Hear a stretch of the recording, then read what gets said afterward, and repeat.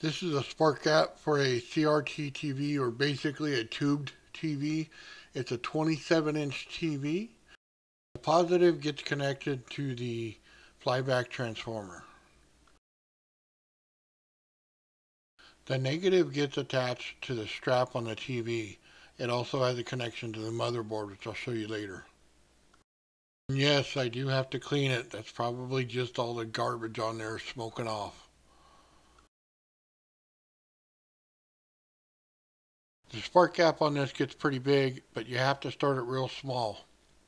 As you can see, we're about one inch away when we start. We get up to about uh, three and three quarter inches on this thing. Uh, pretty decent spark, pretty good on amps. Uh, it's not as light as two flybacks together, so it's got a real thicker uh, approach to it in the beginning and it thins out as you pull it apart.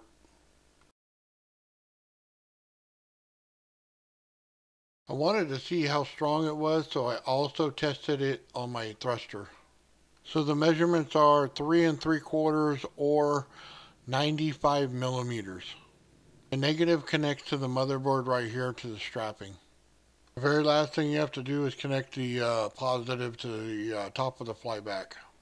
So this is just one of the first of many power sources and I'm going to keep trying to try to find a better power source for lifters and things. At this point, I'm not too encouraged with this.